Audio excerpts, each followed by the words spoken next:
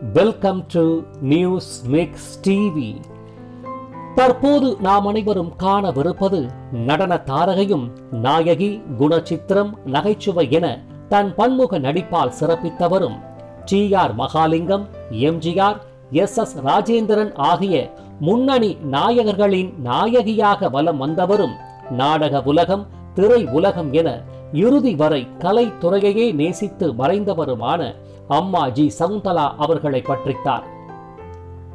ஆயிரத்து தொள்ளாயிரத்து முப்பத்தி இரண்டாம் ஆண்டு அப்போதைய தஞ்சை மாவட்டம் சிதம்பரத்தில் இசை பின்புலம் உள்ள நடுத்தர குடும்பத்தில் மகளாக பிறந்தவர்தான் நமது வாழ்க்கை பயண நாயகி ஜி சகுந்தலா ஆவார்.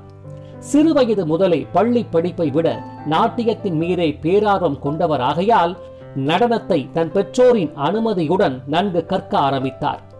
நடனத்தில் முழு தேர்ச்சி பெற்ற நிலையில் அதனுடன் தொடராகிய நாடகத்தின் மீதும் ஈர்ப்பு ஏற்பட்டு அப்போது இயங்கி வந்த நாடக குழுக்களில் தன்னை இணைத்து கொண்டதுடன் நாட்டிய நாடகங்களில் நடித்து வந்ததுடன் நாட்டியாஞ்சலி உள்ளிட்ட நிகழ்ச்சிகளிலும் பங்கு பெற்று வந்தார். இந்நிலையில் ஆயிரத்து தொள்ளாயிரத்து நாற்பத்தி எட்டாம் ஆண்டு ஜெமினி பிக்சர்ஸ் தயாரிப்பில் அம்ரித் லால் நாகர் கதையமைப்பில் விஷ்ணுதாஸ் ஹிராலி இசையில் பிரபல நாட்டிய மேதை உதய் சங்கர் அமலா சங்கர் இயக்கத்தில் வெளியானது கல்பனா என்ற நடன காவிய திரைப்படமாகும். லலிதா பத்மினி உள்ளிட்ட ஏராளமான பாரம்பரிய நடன கலைஞர்களை கொண்டு இத்திரைப்படம் ஹிந்தியில் தயாரிக்கப்பட்டது. இத்திரைப்படத்தின் மூலம் திரைத்துறையில் நடனமாடி அறிமுகமானார் சகுந்தலா அவர்கள். இவ்வாறு நாட்டிய தாரகையான ஜி. சகுந்தலாவின் திரைவாழ்வு ஹிந்தி திரை உலகிலேயே பிரம்மாண்டமாக ஆரம்பித்தது. இதன் பிறகு தமிழ் திரை உலகில் சிறு சிறு வேடங்கள் வசனமின்றி தோன்றினாலும் சகுந்தலாவிற்கு பெரும் திருப்பு முனையாகவும் கதா நாயகியாக அந்தஸ்து தந்த திரைப்படம்தான் ஆயிரத்து தொள்ளாயிரத்து ஐம்பதாம் ஆண்டு மாடர்ன் டாட்டஸின் தயாரிப்பில் எல்லிஸ் ஆர் டங்கன் இயக்கத்தில் கலைஞர் மு. கருணாநிதி கதை வசனத்தில் ஜி. ராமநாதன் இசையில் வெளியான மந்திரி குமாரி திரைப்படமாகும். இத்திரைப்படத்தில் தளபதி வீரமோகனாக நடித்த மக்கள் திலகம் எம்ஜிஆரின் நாயகியாக மன்னர் மகளின் ஜீவரேகாவாக தோன்றி நடிப்பில் சிறப்பித்திருப்பார் சகுந்தலா அவர்கள். அமுதவல்லியாக தோன்றி நடித்த மாதுரி தேவிதான் கதையின் பிரதான நாயகி என்றாலும் எம் எல் வசந்தகுமாரி பின்னணியில் வாழ்விலே ஆனந்தம் என்ற பாடலை பாடி சகுந்தலாவும் அவருக்கு இணையாக தோன்றி நடித்திருப்பதுடன் ரசிகர்களின் மனதையும் கவர்ந்தார். மேலும் இத்திரைப்படத்தில் பெரும் வில்லனாக எஸ் ஏ நடராஜன் தோன்றி வசனங்கள் மூலம் அமர்க்களப்படுத்தி இருப்பதுடன் இதில் இடம்பெற்ற உலவும் தென்றல் காற்றினிலே என்ற பாடலும் வாராய் நீ வாராய் ஆகிய பாடல்கள் இன்று வரையில் பிரபலமாகும்.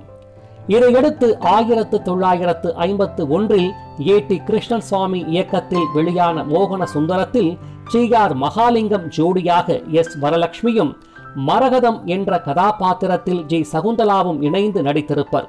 இதை போலவே செய்கார் மகாலிங்கம் இயக்கி ராஜபகதூர் மற்றும் மற்றும் சின்னதுரையாக நடித்த சின்னதுரை திரைப்படத்தில் செய்யார் மகாலிங்கத்தின் இரட்டை நாயகியர்களாக எஸ். வரலட்சுமி இந்திராமணி என்ற கதாபாத்திரத்திலும் ஜி. சகுந்தலா சந்திராமணி கதாபாத்திரத்திலும் தோன்றி நடிப்பில் கலக்கியிருப்பர். இதன் பின்னர் ஆயிரத்து தொள்ளாயிரத்து ஐம்பத்தி இரண்டில் வெளியான தாய் உள்ளம் திரைப்படத்தில் சிங்காரி என்ற கதாபாத்திரத்திலும் ஆயிரத்து தொள்ளாயிரத்து ஐம்பத்தி நான்கில் ஏ பீம்சிங் இயக்கத்தில் கலைஞர் மு. கருணாநிதி கதை வசனத்தில் வெளியான அம்மையப்பன் என்ற திரைப்படத்தில் எஸ் எஸ் ராஜேந்திரன் வரலட்சுமியுடன் இணைந்து முத்தாயி என்ற கதாபாத்திரத்தில் இரண்டாம் நாயகியாக தோன்றி நடித்திருப்பார் அம்மா சகுந்தலா அவர்கள். இதன் பின்னர் கதாநாயகி இரண்டாம் நாயகி என்ற நட்சத்திர அந்தஸ்திலிருந்து காலத்தின் சக்கர சுழற்சியால் குணச்சித்திரம் மற்றும் நகைச்சுவை வேடங்களை ஏற்று நடிக்கவும் ஆரம்பித்தார் சகுந்தலா அவர்கள். இதன் அடிப்படையில் ஆயிரத்து தொள்ளாயிரத்து ஐம்பத்து ஆறில் தேவர் பிலிம்ஸின் எம். ஏ. திருமுகத்தின் இயக்கத்தில் மக்கள் திலகம் எம்ஜிஆர் பி. பானுமதி நடிப்பில் வெளியான தாய்க்குப்பின் தாரம் திரைப்படத்தில் காக்கா ராதாகிருஷ்ணனுடன் இணைந்து வள்ளி என்ற கதாபாத்திரத்தில் தோன்றி நகைச்சுவையில் சிறப்பித்திருப்பார் சகுந்தலா. இதையடுத்து வெளியான ஆரவல்லியில் மரகத வல்லியாகவும் சக்கரவர்த்தி திருமகள் ராஜராஜன் உள்ளிட்ட திரைப்படங்களிலும் நாடோடி மன்னனில் நந்தினியாகவும் நான் சொல்லும் ரகசியம் திரைப்படத்தில் சந்திரபாபுவின் ஜோடியாகவும் நகைச்சுவை வேடம் ஏற்று நடித்திருப்பதுடன் தடுக்காதே என்னை தடுக்காதே என்ற பாடலும் பிரபலமாகும். இதன் பின்பு ஆயிரத்து தொள்ளாயிரத்து அறுபதில் எம்ஜிஆர் அஞ்சலி தேவி பத்மினி நடிப்பில் வெளியாகிய மன்னாதி மன்னன் திரைப்படத்தில் குலதெய்வம் ராஜகோபாலுடன் இணைந்து மங்கையர் கரசி எனும் நகைச்சுவை பாத்திரமேற்று சகுந்தலா நடித்திருப்பார். திருடாதே திரைப்படத்தில் எம் கே முஸ்தபாவின் மனைவி காவிரியாகவும் தாயை காத்த தனையனில் பாக்கியமாகவும் நடித்து தன் நடிப்பாற்றலை வெளிப்படுத்தி இருப்பதுடன் கொடுத்து வைத்தவள் திரைப்படத்தில் கே. ஏ. தங்கவேலுவுடன் இணைந்து சரசு என்ற நகைச்சுவை வேடத்திலும் நீதிக்கு பின் பாசத்தில் ஜானகியாகவும் காஞ்சி தலைவனில் இலங்கை மன்னரின் மனைவியாகவும் பணக்கார குடும்பம் தாயின் மடியில் நீரும் நெருப்பும் ரிக்ஷாக்காரன் பறக்கும் பாவை கலங்கரை விளக்கம் பல்வேறு படங்களில் எம்ஜிஆரின் திரைப்படங்களில் அதிகம் நடித்த கலைஞர் என்ற பெருமைக்குரியவர் சகுந்தலா ஆவார். சிவாஜி கணேசனுடன் கர்ணன் திரைப்படத்தில் தேவிகாவின் தோழி மங்களாவாகவும் அன்பு கரங்களில் உமாவாகவும் மகாகவி காளிதாஸ் திருவருட்செல்வர் உயர்ந்த மனிதன் திருமால் பெருமையில் யசோதாவாகவும் நிறைகுடம் குலமா குணமா குருதக்ஷணையில் சாவித்திரியாகவும் காவல் தெய்வம் எதிரொலியில் போலீஸ் கான்ஸ்டபிள் நாகேஷின் மனைவியாக நகைச்சுவை பாத்திரத்திலும் நடித்து சிறப்பித்திருப்பார் சகுந்தலா அவர்கள். இதில் உயர்ந்த மனிதன் திரைப்படத்தில் லேடிஸ் கிளப்பின் பங்கஜம் மாமி கதாபாத்திரத்தில் தோன்றி சவுகார் ஜானகிக்கு கணவனிடம் அரைவாங்கும் கலையை பற்றி பாடம் எடுத்திருப்பார்.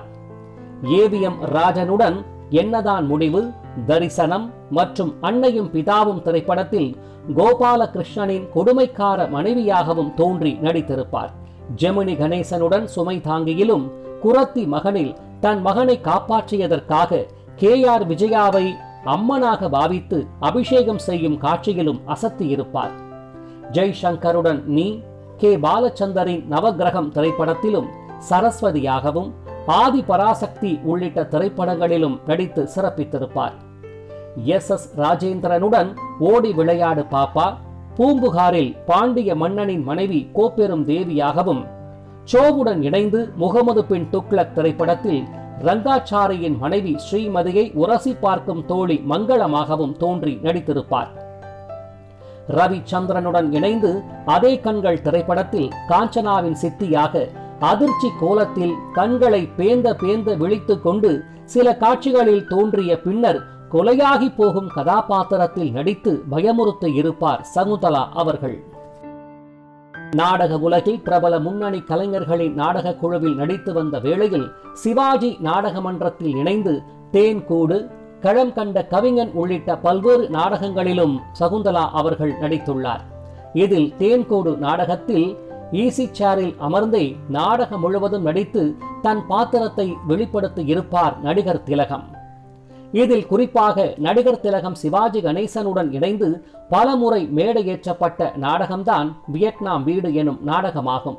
அவ்வேளையில் வியட்நாமில் நடந்த போர் பற்றிய தகவல்கள் பத்திரிகைகளில் வெளிவந்த வண்ணம் இருந்தன. இந்நிலையில் ஓயாத சண்டையின் அடையாளமாக வியட்நாம் விளங்கியது. சச்சரவுகளின் முத்திரையாக விளங்கிய வியட்நாம் பெயரை குடும்ப பிரச்சனைகளின் மையமாக வைத்து நாடக ஆசிரியர் சுந்தரம் அவர்களின் கதை வசனத்தில் எழுதப்பட்ட நாடகம்தான் வியட்நாம் வீடு ஆகும்.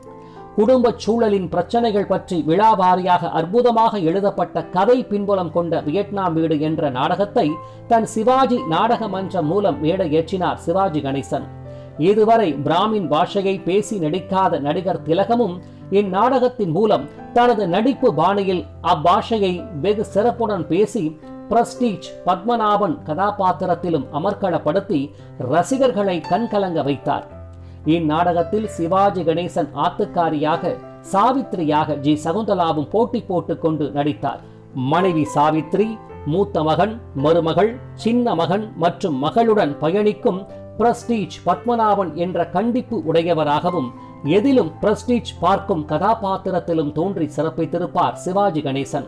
ஆங்கிலம் தமிழ் என வசனங்களை கலந்து பேசி பிச்சு உதறியிருப்பார் ரசிகர்களின் பலத்த கரவொலிக்கிடையே இந்நாடகம் மிகுந்த வரவேற்பு பெற்றது.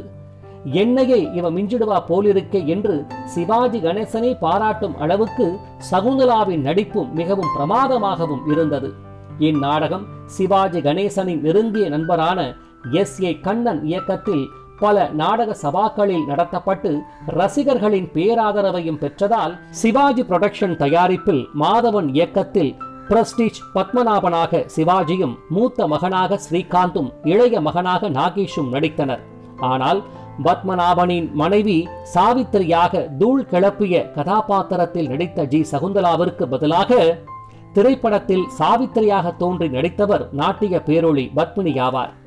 சாவித்திரியாக நடித்து அக்கதாபாத்திரத்தை ரசிகர்களிடம் பிரபலமடைய வைத்த ஜி. சகுந்தலாவிற்கு பதில் அக்கதாபாத்திரத்தில் தோன்றி பத்மினி நடிக்கப் போகிறார் என்ற செய்தி சகுந்தலாவிற்கு கிடைத்தபோது திரைப்படத்திற்கு பலம் சேர்க்க அவ்வாறு செய்துள்ளார்கள் என்று தன் மனதை தேற்றியும் கூட இதனால் ஏற்பட்ட ஏமாற்றத்தை ஜீரணிக்க முடியாதவராக மன உளைச்சலால் பாதிக்கப்பட்ட நிலையில் சிவாஜி நாடக மன்றத்திலிருந்து விலகி தன்னுடைய பூர்வீக ஊரான சிதம்பரத்தின் தில்லை பெயரிலேயே தில்லை தேட்டர்ஸ் என்ற நாடக குழுவை தொடங்கி நடிக்கவும் ஆரம்பித்தார். நாடக உலகின் நட்பின் அடிப்படையில் முதல்வராக பதவி வகித்த கலைஞர் மு. கருணாநிதியை அணுகி தனக்கொரு நாடகம் எழுதி தரும்படி கேட்க அவரும் வெள்ளிக்கிழமை என்ற மேடை நாடகத்தை எழுதி தந்ததுடன் இந்நாடகத்தை எஸ். வி. சகசர நாமம்தான் இயக்க வேண்டும் என்ற நிபந்தனை அடிப்படையில் நாடகக் கதையை தந்தார். இதன்படியே மயிலை ரசிக ரஞ்சனி சபாவில் கலைஞர் மு. கருணாநிதி தலைமையில் வெள்ளிக்கிழமை எனும் இந்நாடகத்தை வெற்றிகரமாக அரங்கேற்றினார் ஜி. சகுந்தலா. சகசிரநாமம் காந்திமதியின் மகளாக சகுந்தலா நடித்திருப்பதுடன் இவருடைய திருமணத்தை தடுத்து நிறுத்தும் வில்லனாக தேங்காய் சீனிவாசன் நடித்திருப்பார். இந்நாடகத்தில் S T. Subbulakshmi Peeli Sivam T. K. S. Chandran Manimala உள்ளிட்ட பிரபல கலைஞர்களும் பங்கேற்று சிறப்பித்தனர். ரசிகர்களால் வரவேற்கப்பட்ட இந்நாடகம் அரசு பொருட்காட்சிகளிலும் பிரதானமாகவே இடம்பெற்றது. சென்னை தண்டையார்பேட்டை நாடக விழாவில் இந்நாடகத்தை நடத்த ஓஏகே தேவர் விரும்பினார். அதன்படியே இந்நாடகம் நடத்த முற்பட்ட போது ஏற்பட்ட சிக்கலையும் அதன் பின் வந்த தொடர் பிரச்சனைகளையும் இந்நாடகத்தின் உதவி இயக்குனராக அவ்வேளையில் பணிபுரிந்த சேவா ஸ்டேஜின் பி ஆர் துரை அவர்கள் லாவகமாக கையாண்டு ஜி. சகுந்தலாவிற்கு பேருதவியும் புரிந்துள்ளார். அதன் பின் காகித நாணை அறிவாளி உள்ளிட்ட திமுகவின் பிரச்சார நாடகங்களிலும் நடித்துள்ளார் ஜி. சகுந்தலா. இதையடுத்து வரலாற்று எழுத்தாளர் சாண்டில்யனின் மலைவாசல் நாவலை தெய்வ திரைப்படங்களின் இயக்குனர் ஏ. பி. நாகராஜன் அவர்கள் கதையம்சத்துடன் காட்சிப்படுத்த சகுந்தலா அவர்களும் ரசிகர்களின் ஏகோபித்த ஆதரவுடன் மேடையேற்றினார்.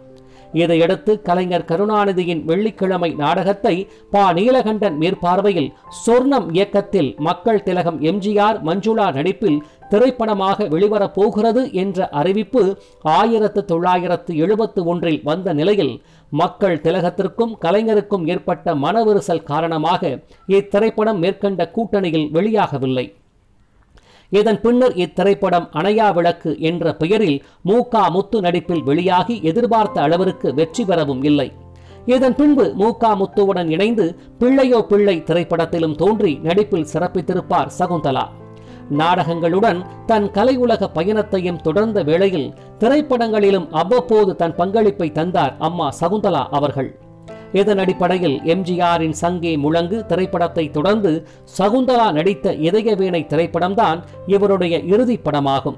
இதன் பின்னர் நாடகத் துறையில் தன் முழு கவனத்தையும் செலுத்தி வந்த நிலையில் அதிலிருந்தும் சிறிது சிறிதாக விலகி முற்றிலும் தன்னை கலையுலக வாழ்விலிருந்து துண்டித்துக் கொண்டு ஓய்வு பெற ஆரம்பித்தார். திருமணத்தில் விருப்பமின்றி தன்னுடன் பிறந்த சகோதர சகோதரிகளுடன் தன் இறுதி வாழ்வை பயணித்தவர் இரண்டாயிரத்து நான்காம் ஆண்டு தன்னுடைய வாழ்விற்கு விடை கொடுக்கும் வண்ணம் காலமானார்.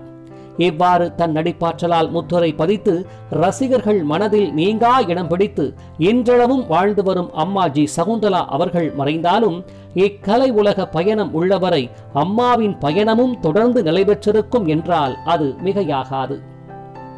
இதுபோன்ற காலத்தை வென்ற காவிய கலைஞர்களின் வாழ்க்கை பயணத்தை தாங்கள் தொடர்ந்து அறிந்து கொள்ள உங்கள் நியூஸ் மிக்ஸ் டிவியை சப்ஸ்கிரைப் மற்றும் லைக் செய்து மற்றவர்களும் அறிந்திட ஷேர் செய்திடுங்கள். காத்திருங்கள். மற்றும் ஒரு சுவாரஸ்யத்திற்கு நன்றி.